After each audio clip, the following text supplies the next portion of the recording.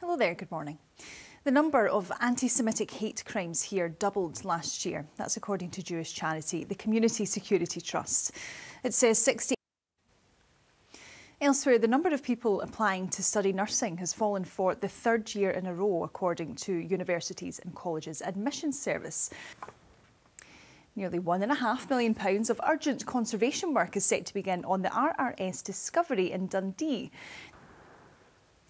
And passengers on the West Highland Railway line, which runs between Oban and Glasgow, have dubbed it the Polar Express amid complaints of plunging temperatures. ScotRail. Let's take a look at the weather now with Gillian Smart. And that's all from us for the moment, but we'll be back in around half an hour. See you then. Bye bye. Hello there, good morning. The number of anti Semitic hate crimes here doubled last year. That's according to Jewish charity, the Community Security Trust. It says the number of people applying to study nursing has fallen for the third year in a row, according to UCAS. For Elsewhere, nearly £1.5 million of urgent conservation work is set to begin on the RRS Discovery in Dundee. And finally, passengers on the West Highland Railway line, which runs between Oban and Glasgow, have dubbed it the Polar Express amid complaints of plunging temperatures.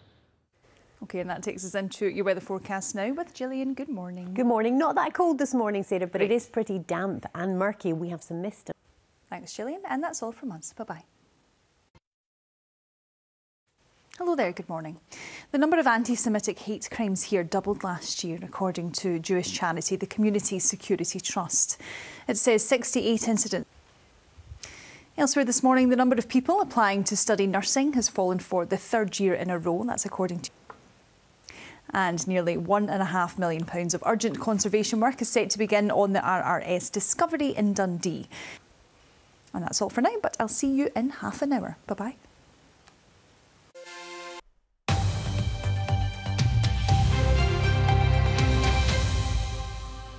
There, good afternoon. The man accused of murdering Emma Caldwell told a jury he can't explain why soil found in his van was a 97% match with soil from the place where her body was discovered 18 years ago. Iain Packer gave evidence for a third day at his trial at the High Court in Glasgow. Our Home Affairs correspondent David Cowan has been following the case and he joins us now. Uh, David, tell us, what did we hear this afternoon? A woman who died following a disturbance in Shetland on Sunday has been named. Police were called to the Sandnes area following a report of a disturbance. Official figures show that the UK fell into a recession in the second half of last year. It was driven by reductions in output across the economy, with falls of more than 1% in both production and construction. Well, our political correspondent Andrew Kerr joins us now to talk us through this. Uh, Andrew, is this what we were expecting? With high inflation, as the Bank of England tries to now, Sarah, this is bad news for the Prime Minister in an election year. Elsewhere, the number of anti Semitic hate crimes here doubled last year, according to Jewish charity, the Community Security Trust. It says 68 incidents were recorded here in Scotland, and the number of reports of anti Semitism across the UK is at a record high. It says incidents have been on the rise since the Hamas attack on Israel on the 7th of October.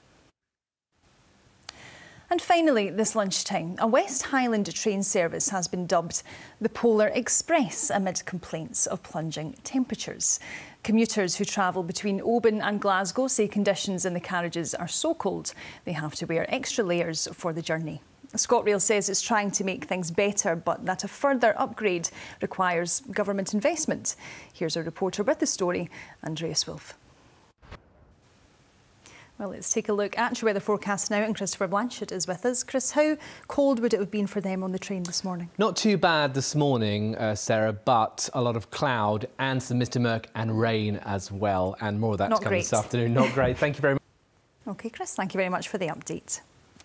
And that's all from us here this lunchtime, but Sally Magnusson will have your evening edition of Reporting Scotland. Bye for now.